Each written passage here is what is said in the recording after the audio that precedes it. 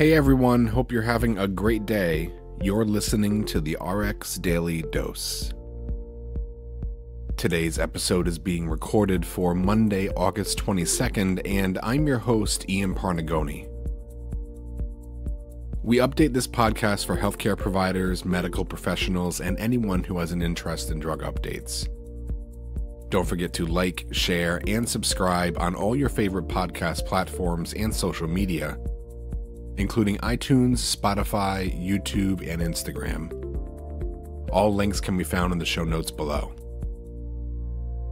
So, in today's episode, we have just two updates from the FDA. First, issuing a final ruling related to OTC hearing aids and approval of Zynteglo for a specific type of beta thalassemia. As always, feel free to skip around. I'm going to include times in the show notes so you get the updates that interest you. First up this week, the FDA issued a final rule to improve access to hearing aids, which may in turn lower costs for millions of Americans. This action establishes a new category of over the counter hearing aids, enabling consumers with perceived mild to moderate hearing impairment to purchase hearing aids directly from stores or online retailers without the need for a medical exam, prescription, or a fitting adjustment by an audiologist. Close to 30 million adults in the US could benefit from hearing aid use. Individuals with permanent hearing impairment can use hearing aids to help make speech and sounds louder, improving the ability to communicate effectively with others. Many hearing aids can be expensive, and this final rule aims to stimulate competition and facilitate the sale of safe and effective OTC hearing aids in traditional retail stores or online nationwide. The OTC category established in this final rule applies to certain air conduction hearing aids intended for people 18 years of age and older who have perceived mild to moderate hearing impairment. Hearing aids that do not meet the requirements for the OTC category, for example, because they are intended for severe hearing impairment or users younger than 18, are still prescription devices. The FDA finalized the rule after receiving and reviewing more than a thousand public comments on the proposed rule, which was issued on October 20th, 2021. In response to public comments and to assure the safety and effectiveness of OTC hearing aids, the final rule incorporates several changes from the proposed rule, including lowering the maximum sound output to reduce the risk of hearing loss from overamplification of sound, revising the insertion depth limit in the ear canal, requiring that all OTC hearing aids have a user adjustable volume control and simplifying the phrasing throughout the required device labeling to ensure it is easily understood. The final rule also includes performance specifications and device design requirements specific to OTC hearing aids.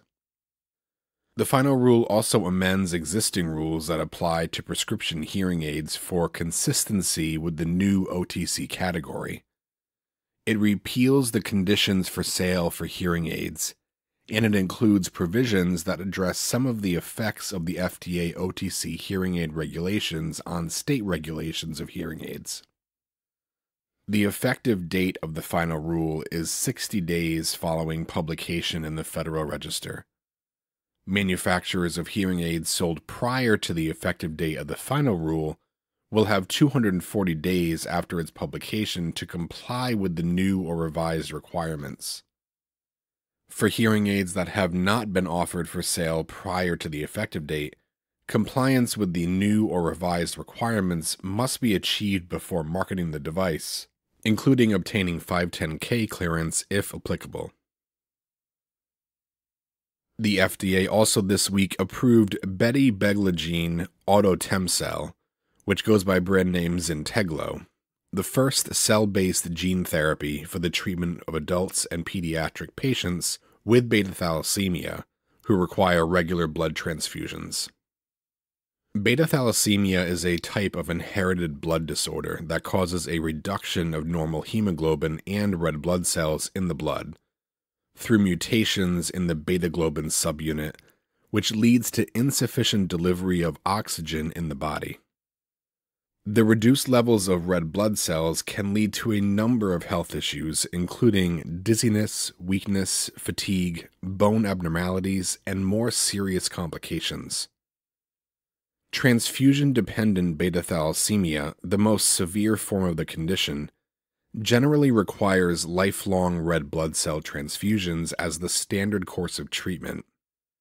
These regular transfusions can be associated with multiple health complications of their own, including problems in the heart, liver, and other organs due to an excessive buildup of iron in the body.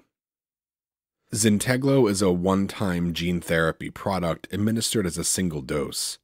Each dose of Zynteglo is a customized treatment created using the patient's own bone marrow stem cells that are genetically modified to produce functional beta globin, which is a hemoglobin component. The safety and effectiveness of Zynteglo were established in two multi-center clinical studies that included adult and pediatric patients with beta thalassemia. Effectiveness was established based on achievement of transfusion independence, which is attained when the patient maintains a predetermined level of hemoglobin without needing any red blood cell transfusions for at least 12 months. Of 41 patients receiving Zynteglo, 89% achieved transfusion independence. The most common adverse reactions associated with Zynteglo included reduced platelet and other blood cell levels, as well as mucositis, febrile neutropenia, vomiting, fever, alopecia, nosebleed, abdominal pain, cough, headache, rash, nausea, pigmentation disorder, and pruritus. There is a potential risk of blood cancer associated with this treatment, however, no cases have been seen in studies of Zynteglo.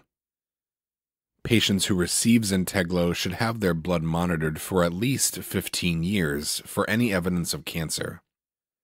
Patients should also be monitored for hypersensitivity reactions during Zynteglo administration and should be monitored for thrombocytopenia and bleeding. This application was granted a rare pediatric disease voucher in addition to receiving priority review, fast track, breakthrough therapy, and orphan drug designation.